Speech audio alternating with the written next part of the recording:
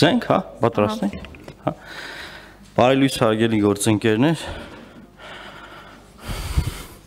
Կրկին ուզում եմ շնորհավորել Հայաստանի Հանրապետության անկախության տոնի կապակցությամբ եւ կարող ենք միանգամից անցնել հարց ու պատասխանի։ Խնդրեմ ներկայացեք ձեր հարցը։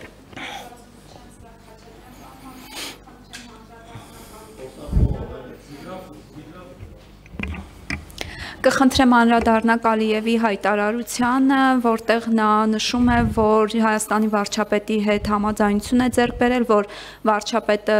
Հայաստանում կլուծի իր ընդդիմախոսների հարցերը եւ բանակցային գործընթացում կցուցաբերի կառուցողական դիրք։ Նախ սա ինչպես կմեկնաբանեք եւ առհասարակ մենք ինչպես ենք արձագանքում այդ հայտարարություններին Ադրբեջանից եկող արդյոք դրանք համարժեք են թե ոչ։ Ճիշտն ասած արձագանքներին ծանոթ չեմ, եթե ծանոթ ծանոթ եք կարող եք հղում տալ, ասել ով ինչպես է արձագանքել, կմեկնաբանեմ։ Ես երեք արձագանքել եմ ուղակի մի քանի բառով։ Ինչ վերաբերում է Ալիևի նշված հայտարարությանը, ապա Ալիևի հայտարարությունները չեն հանդիսանում ինձ համար աղբյուր, որին ես կարող եմ վստահել եւ այդ հայտարարությունների հիման վրա հետեւություններ անել Հայաստանում Արցախի հիմնախնդիրը միշտ քաղաքական առումով քննարկումների առարկա է եղել, նաև շարժումների առարկա է եղել, բայց ես ասել եմ մի բան, որ Հայաստանում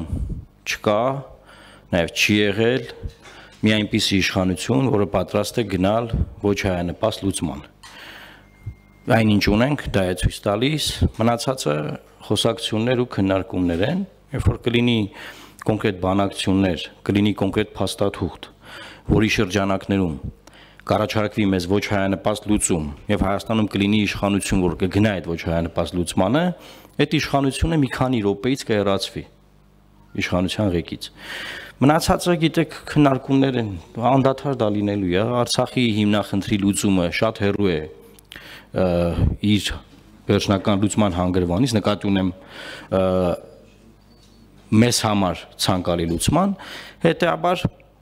վաղ թե ուշ բանակցությունները վերականգնվելու են, որովհետև միջազգային հանրության կոչերի ներքո դա չի կարող չվերականգնվել, դեռ եթե չի վերականգնվում, այլ ընտրանքը պատերազմն է, իրար վրա կրակելն է, բանակցությունները վերականգնվելու են, շարունակվելու են գնալ բանակցություններ։ Այդտեղ այլ բանա, որ հուլիսյան մարտերից հետո մենք ապրիլյան պատերազմի ժամանակ եղած մոտեցումները կարողանանք ամրապնդել։ Այսինքն այն ինչ որ ապրիլյանից հետո պետք էր արվեր ու մինչև այսօր չի արվել, գոնե մենք կարող ենք դա հիմա բերել օրակարգ։ Սա է իմ պատկերացումը։ Շնորհակալ եմ։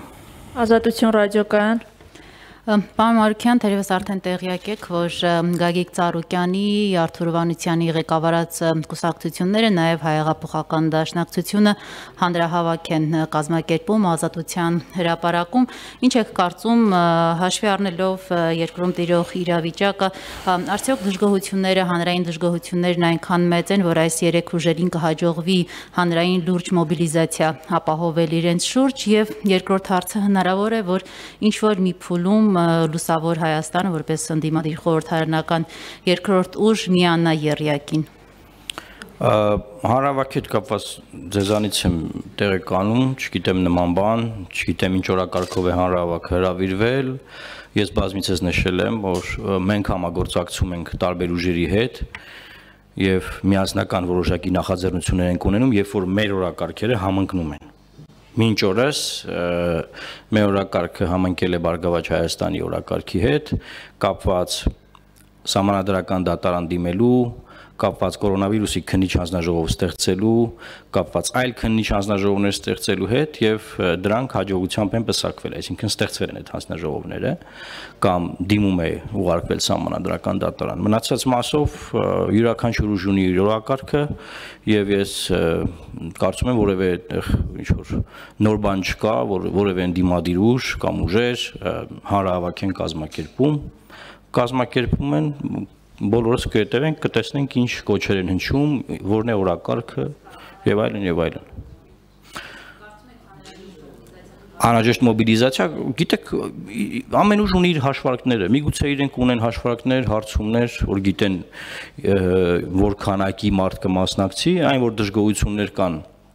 գործող իշխանության կառավարումից դա միանշանակ է,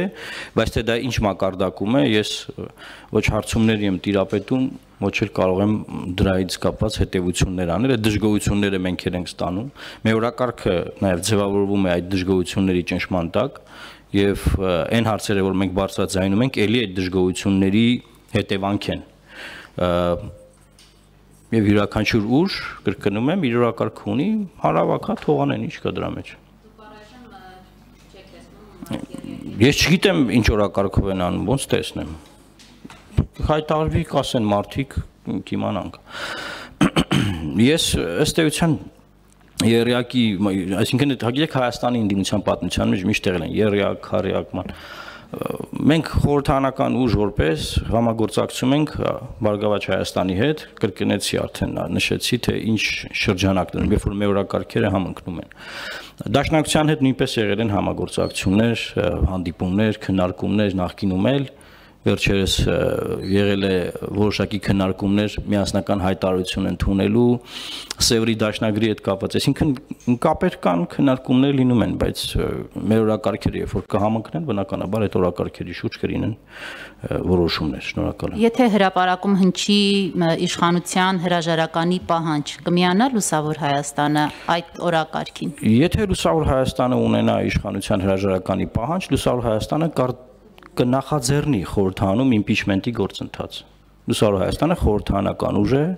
Լուսավոր Հայաստանի ձեռքում է գտնվում ազգային ժողովի համանadrական օրենք կանոնակարգի մեխանիզմները, եւ Լուսավոր Հայաստանը կնախաձեռնի։ Լուսավոր Հայաստանը չի սպասում, որ մեկը մի բան հայտարարի, վազի գնա միանա այդ հայտարարությանը։ Այսօր Հայաստան ինքն է որոշում ինչ հայտարարի եւ եթե պետք լինի մեր հայտարարած կամ մեր որոշած բանի շուրջ կոնսոլիդացիա, մենք կնախաձեռնենք նաեւ հանդիպումներ, կգնանք այդ մարդկանց հետ կհանդիպենք, կասենք այսպիսի օրակարգ ունենք, եկեք այս օրակարգը առաջ տանենք։ Այդ առումով բան չկա եւ մյուսը ես գիտեք նաեւ կոչերը իշխանության հրաժարականի բան պետքա դա ունենա հստակ կառուցվածք։ Օրինակ, երբ որ ասվում է, որ պետք է վարչապետը հրաժարական տա, պետք է ասեն ում են ուզում որ դառնա վարչապետ, որտեղ երբ որ վարչապետը հրաժարական տա, իմ քայլը դաշինքը պետք է ընտրի վարչապետ։ Հիմա կարող է Ռոմանոս Պետրոսյանին ընտրեն վարչապետ։ Գոհ են այդ մարտիկ, այսինքն այդ փոփոխությունից։ Այսինքն պետքա հստակ ասվի ինչա ինչա ուզվում, հա։ Եթե ուզում են իշխանությունը տոտալ ամբողջությամբ փոխվի, պետքա լինի արտախ արտահերթ խորհրդանական ընտրություններ։ Հայաստանը խորհրդանական երկիր է։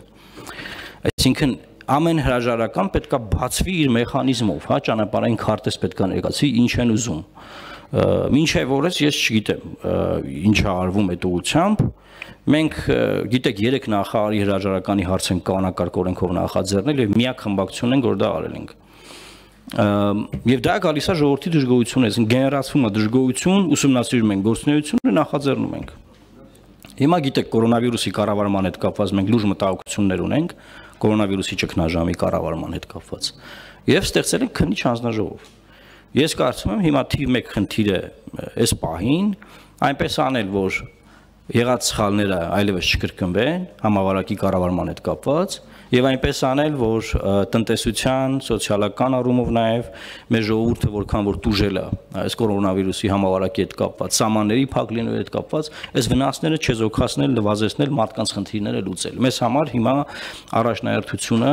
այս համավարակի կառավարման հետ է կապված, որովհետեւ աշխարհով մեկ երկրորդ ալիքի ահազանգ կա։ Ես հույս ունեմ, որ Հայաստանում դա չի լինի, որովհետեւ մենք շատ ծանր ենք տարել կորոնավիրուսի հետեւաբար երկրորդ ալիքի խնդիր չենք ունենա, բայց երբ որ աշխարհում դա լինի, դա նշանակում է, որ աշխարհի գլոբալ տնտեսությունը շարունակելու է դժվել եւ հետեւաբար Հայաստանի տնտեսությունը անմասն չի մնալու, շարունակելու է դժվել։ Եվ Հայաստանը արդյոք ճիշտ քաղաքականություն է վարում այս առումով, մինչև այսօր սխալ քաղաքականություն է վարվել նաև տնտեսական։ Այսինքն մենք ասել ենք մարդկանց փող տվեք, պետությունը բանկերին է փողը տվել, բանկերին է հարստացրել։ Մենք ասել ենք, երբ որ կարանտինա այդ ժամանակ բացի բիզնեսներից